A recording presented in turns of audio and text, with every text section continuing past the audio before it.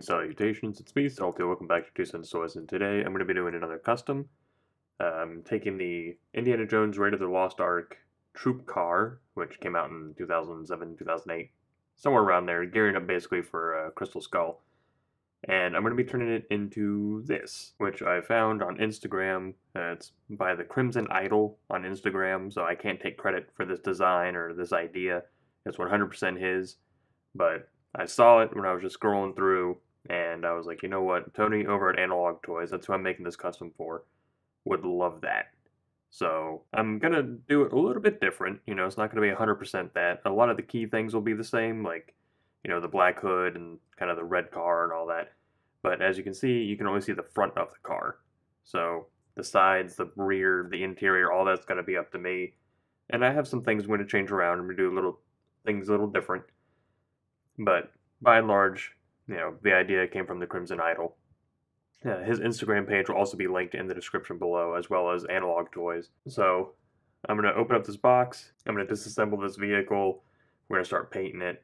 And uh, hopefully we have some fun with it. Yeah, I know my work center is a little more chaotic than you normally see it. Uh, I'm filming this back to back with the A-Wing custom that I did. So I have all my stuff still out. But we also get this kind of road barrier with it. You know, it just kind of clips together there. Just like that. So I'm probably going to do some wood grain on that maybe. Or I don't know. Maybe paint the trusses silver and put some rust on them or something. I, I don't know. I might just leave this the way it is. I'm really tempted to do something to it. But you see we also get uh, all these barrels in this bag. So I'm probably going to paint these up a little bit. Maybe put some rust or maybe go over this in silver and then over in black and then kind of dig those out so it looks like dings and all that. I don't know. I'll, I'll figure mm-hmm. something. So maybe get some water decals and put a logo on these or something. Or I'm tempted to do some silver and black on this. You can see here it just plugs into the top. And then there's actually a post in this vehicle right here that it plugs into. And then it plugs into this post here. And then there's a lever on the back. Kind of swivels it around a little bit there. So, I don't know. I might do some painting on that maybe make the silver, put some patina on it or something, and then the projectile, which uh, I'll probably just leave alone. I don't know if I'm going to do all that. I might just leave this stuff alone and just focus on the vehicle. So the vehicle itself is mostly in gray, as you can see. You know, it's got wheels that work, it's got pegs and all that. There's that little thing I was telling you about where the gun goes. So there's a lever that swings a person back and forth. I'm going to do something about this rear view. I might put, you know, yellow on these lights or I might leave them silver. I don't know. The grill's going to get painted for sure. The headlights will get painted. This is going to get uh, painted and probably a decal added to it. But luckily, this comes apart. So I can unscrew it and I can take the chassis out and all that, and that'll hopefully make things a little easier. Like I can remove the wheels or I can take these seats out. So that's what I'm hoping for. And that's what I'm going to shoot for. Let's go ahead and take this thing apart. Alright, so I got it all disassembled as you can see. It came apart mostly in kind of big chunks. Um, I might try. I I could not get the wheel off of here. Uh, the screw head was starting to crack apart, and I'm just gonna have to find a way to paint around it because I had another screw on the bottom do the same thing. I had to drill it out, so I don't really want to have to find a replacement screw for this. Same with the front part here. Um, all these are really pegged in there, so I'm not sure how I'm gonna remove all these. I might just cut them off, reglue it all down. I don't know yet. But uh, I'll cross that bridge when I come to it. So this is kind of the main seat where the driver sits and all that, and it just hooks into the bottom, as you can see. Just gotta kind of come up with a color scheme for everything, you know. Like here on the bottom, I'm not sure what I'm gonna do. I, I'm tempted to go over everything in silver, and then do dry brush black and brown and all that kind of stuff, but that's a lot of silver. And same thing with the floor. I really want to make this silver and then go over it in black and kind of like scrape it up a little bit, but I, I just don't know. I guess we'll figure it out. For the chairs, I want to go over them in kind of a cream color and then, you know, do the stitching in a different color or something. I don't know. I, I don't want to do just red and black on all of it because Baron Ironblood has a white uniform, so I'd, I'd ideally I'd like this to be his vehicle.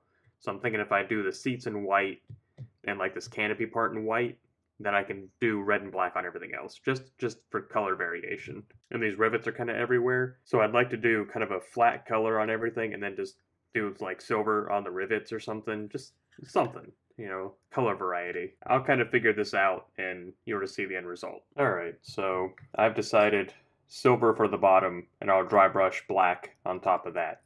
That's what I decided. This is gonna take a while. I did not think this through. Oh well, it'll be fine. Worst case scenario, I'll just go in with a, a dry brush, like a dry paintbrush, just kind of smear this around. Worst case scenario. Let me find a dry brush and see if that works. Ah, it does work. How about that? Perfect. I'm probably going to cut most of this out, to be perfectly honest with you. Okay, so I've also decided I'm going to paint kind of all these, like, brackets and the like, I don't know car terminology, but anything that looks sturdy, I'm going to paint silver and probably spackle it with black or mud or whatever I can figure out. Just because I don't know what the underside of this vehicle would look like. I mean, it's supposed to be new, but I want it to look used. I don't know. But I've already started and too late now. Basically, it's going to be a bunch of silver down here. I'm going to go through with details and change all this stuff up. And this is all silvered now, by the way. Oh, I went ahead, knocked out the gun off camera. So a little bit of black and silver kind of mixed in. Painted the butt, buttstock brown there. That's probably all I'll do with it. I opted to paint just this one part silver. I'll just leave that at that. And I finished the silver on the bottom here. Had a few uh, little extra areas, but I'm going to go over most of the other black, so no problems, no worries. I think what I'll do now is try the cream color, because I was going to go with white, but I think I'd rather do cream, which is just slightly off-white. I know it looks white on camera, but it's just slightly off-white, and I think I'll do that. There's a lot of kind of nooks and crannies in here, so I'm not sure how well this is going to go, but uh, I think it'll be alright. I'm tempted because of the crannies to go over it in gray and then go over it in white. I'll probably just do this. Luckily, this stuff can wash off if I don't like it. So, uh, let's give it a couple squigs here. Worst case scenario, again, I can just take a brush and kind of force all that in there, which I kind of like the way that looks on its own. I kind of like the cream color on the seats, so I think I'm going to keep that. I went ahead and knocked out the uh, canopy while I was waiting for it to dry. Gonna do this part next, which is the, the roll bar in this seat, which will be the last of the white. Basically, what I've been doing this whole time is taking the paint pen and kind of marking it like that, and then I've been taking a flat brush, marking it all in, which I think gives it kind of a textured, more organic feel to it, instead of just being like solid. It also gets it down into the grooves, which I think helps a lot. That's basically what I've been doing. So make a little bit more progress. You know, this chair is done, the canopy's done, so I think I'm completely done with the off-white cream color. I think I'll start with this, because this will be mostly simple. So I'm going to do black on the hood and red everywhere else. I'm going to do red up the side here. I have to figure out what I'm going to do with the instrument panel here, what I'm going to add to it, what I'm going to paint, all that kind of stuff. I think I'm probably just going to go over it in black, to be honest with you, maybe put some white here. I don't know. I'll do something with it. I think for the rear views here, I'm actually going to hit them with a Molotow chrome pen so they'll be reflective. That's probably what I'll do for that. And uh, I guess we'll come back when this is done. So I'm making a little bit of progress here.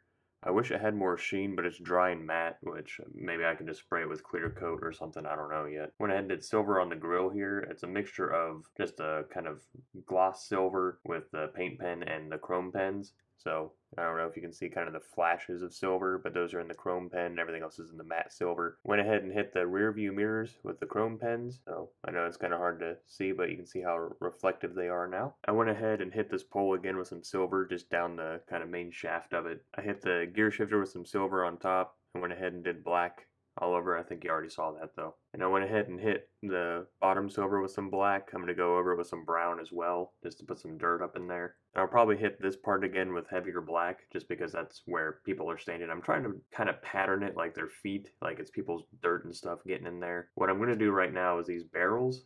I'll have these various little divots and dings in them. I'm not going to hit all of them, but I'm going to hit some of them, and it's going to be different on each barrel. So I'm going to hit them with silver, and then I'm going to paint the rest of the barrel probably in red and do the lid as black. That's what I'm thinking. And then I'll put some kind of water decal on it or something. So, how I'm doing this is I'm putting like a little, little dab of silver here in my little work center, which you can see all the paint. This is kind of what I do. I hit my little white mat with paint and then I just dab it with my brush instead of, you know, doing anything else. It's off camera for you, but I'm going to dab my little bit of silver here just to get it on my brush. And I'm going to go through and just kind of randomly pick different spots, which ideally, the, the idea being is that it's going to be a silver barrel that they painted red. So that way, when I do go over it in red, it'll look like, you know, damages, like the paint's been chipped and all that. So I might be doing this backwards, though. If it doesn't work out, then I'll just come back and do it the other way. Yeah, I think I should probably hit these in red first and then do the silver on top of that. I think that would look better. You know, we'll find out. So this on the top and this on the side are going to be painted silver after everything else is done with red. So for red, I have a separate brush. Guess I don't anymore. Yeah, I turned my red brush into a black brush. So I got these two little brushes. I'm going to use the big brush for kind of the big areas of the barrel and the little brush for this thing right here. All right, you know what? I might do these uh, do these wraps in black actually. Now that I think about it, I think that I think that's what I'll do. So I'm gonna use the same process. You know, basically get some red somewhere, put it on my brush, and then kind of around the barrel. And I'll show you what that looks like when I'm done. And I might do the reverse method on a different barrel and show you the if it turns out different. If it turns out different. Alright, so here's the barrels, which I ended up doing the uh, red method with silver on top for both. Basically because the one I did the silver on first, when I was done with the red, it really looked bad. So I basically just did the method on both. And I like this a lot better. I think this turned out really great with the, the silver on top of the red. I think that's actually pretty cool. Uh, this one is horning all the screws at the moment, so it's not done yet. But I'm going to go through, paint the black bands on here, and then paint the top of this black. I already touched the silver on the front. Uh, off camera while I was waiting because I got impatient, I went ahead and knocked out the black on the interior of this. That's kind of nice. I might go through with some silver and just dry brush there on the metal rods and maybe on the interior because that, that matte black just doesn't quite do it for me. It needs a little little gusto, if you will. I decided that the trailer on the back was going to be black, and I went ahead and dry brushed some silver on the rails here, which I think I painted black off camera as well. But you know that, that's kind of what I'm wanting is some of that kind of silver dry brush on top. When I set out to do this originally, it was just going to be solid colors, but the more I'm alone with it, the more I'm starting to do more and more things to it. So I think I'm going to do the black on these, and then, I don't know, maybe I'll do the black on the hood here, because the red's turning out okay. It's matte. I'd like it to be glossy, but that's fine. So I think I'll do the black on the hood, the black on the barrels. I'm also going to go through uh, with a toothbrush to add some mud to things, and I'll show you how I'm going to do that. I actually, I'll leave that in because it's a new technique I haven't already done on the channel before. And that's really why a lot of this stuff is kind of cut out and I'm doing off camera because it's stuff you've seen me do before. You know, if you're new to the channel, you haven't, but I've done plenty of customizing videos where you've seen me go through with painter's pens or you've seen me go through with paintbrushes and do a bunch of the techniques I'm already doing. So I'll show you the toothbrush when I get to it, but I think I'm going to knock out a lot of this stuff. Alright, so barrels are done. Well, they're a little sloppy, but I think they look really freaking cool. So again, this one has the screws, so I'll save that for later. I went ahead and painted the hood black, which I think turned out very clean. So I'm very happy with that. I went ahead and started painting some of the stuff black on the side there, which I'm going to have to do eventually, but I'll come back to it. And what I'm going to do now is I'm going to brush some silver on there. So show you how I'm doing that. Basically how I've been doing it add into my little silver puddle here and taking the silver brush, getting it on the brush. It's basically dry brushing is what I'm doing. So I'm just doing it a little bit different than what you normally see. Gonna lightly kind of brush on this stuff just to give it a little, you know, a little character here. And now it has a little bit of character instead of just being all black, which I wanted to do that on this as well. Like I like the black, the, the black on the bracket, but I wanted this to be kind of brushed a little bit. The light itself. But you know what? Let's do the bracket too. There we go. I'm debating if I want this to be silver or not. I might just leave it the way that it is. Oh, well, I'm already touching it with silver, so here we go. Alright, so a lot of stuff happened. I opted to give kind of a rust look to the barrier there. Went ahead and did some dirt and grime and all that on the undercarriage. Painted the headlights yellow painted all the rivets silver, so that's all done. I ended up painting the windshield silver and went with black on the inside. And I did the outside of the vehicle, so it's all red, red there on the inside. Went with red on the back and did some silver touch-ups. I'm not sure what's supposed to be what, but there you go. So there's the other side. And went with silver on the bumper and outlined the license plate in black. And I did the other barrel. But now it's time to show you the uh, thing I was talking about. Which basically all you do is you take a toothbrush. This is just one that I picked up, I think it was like a dollar, something like that. You put paint on it and you just do that and it kind of flings it and kind of like spackles it a little bit. I'm actually just going to apply it directly. Anita's acrylic again. There we go. Work that in there and then see? Now we have mud on the tires. Isn't that cool? Now you could also put this on like the chassis or you could put this on like the body itself if you want like kind of like a spun mud kind of effect but I'm just going to stick with the tires and the hubcaps because I don't really want to cover up all that red that I just did. I actually learned this in the third grade, if you can believe that. Never forgot it for some reason. There we go. Mud on the tires, mud on that. I might do a little bit on the body, but not a whole bunch. Where I will hit it though, I think I'll hit this with it. Yeah, I like that. So, you know, someone's been standing back there a whole bunch. Let's see if I can pull this off. There we go. Now I got some grime in there. Let me hit the floorboards here with a little bit of mud. Hit right here with a little bit. People have been walking and standing on there. Wash my thumb and wash out this toothbrush. Not that I'm going to brush my teeth with it, but I'm going to wash it out. I'm going to reassemble all this and then we'll apply the water decals and we'll be done. Okay, so I said I would be back after I applied the decals, but I wanted to show you the decal sheet and where I got them from. So this is the decal sheet, which I realize is very difficult to make out all these, you know, different red shadows logos with the skulls and all that. But this is the decal sheet and it came from Bad Mother Tattoos and Customs over, uh, so you can see the Facebook, the email, and the eBay store. So that's who they came from, where I got them and they're nice enough to include instructions. So that's nice. Uh, I won't be able to follow most of these, but I'll see if I can get them to work anyway. So there's their info one more time. So I'll be sure to link uh, this stuff also in the description. Only caveat is I was hoping that this would be a lot bigger because I wanted to put a big one on the hood, like in the photo I showed you at the beginning. But uh, I'll show it to you again right now. Upon closer examination of that, I think what it was is that that was printed out on paper and was just uh, glued on there, just kind of looking at it up close. I guess I'll just probably close to the front of the hood or something.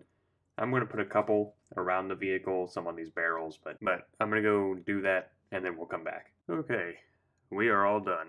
Decals are applied, paint is done, it's done. Here on the barrels, I, I mean, you can kind of see the gloss from the water decals, that's really my fault. But I applied stickers on the top and on the side of each barrel. I didn't paint the inside because I didn't see the point. I didn't apply any decals to the fence, even though I was tempted to. I just left it the way it is. And on the vehicle, I put two on the front bumper, one on each side of that little kind of flag. Put one on the front of the hood there. I put one on the rear panel on both the passenger and the driver's side, as you can see. And I put one on each side of that buttstock. I opted not to do anything with this missile thing. So all that's left for me to do is to pack this up and send it off to Tony over at Analog Toys, who, you know, his channel, of course, is going to be in the description below.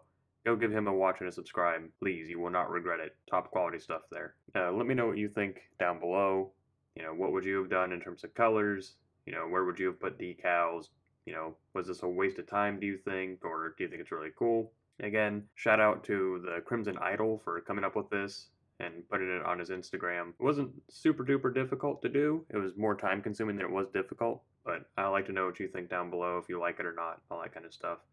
And if you like what you saw or you found it entertaining, then all that asks is that you click like on the video and subscribe to the channel. It's a great way to help me out and I always appreciate it. And today I also ask that you go check out Analog Toys. This is who it's going to and he makes top quality content. So anyway, I thank you for stopping by and spending some time with me today. And until next time, I'm Salty, signing off.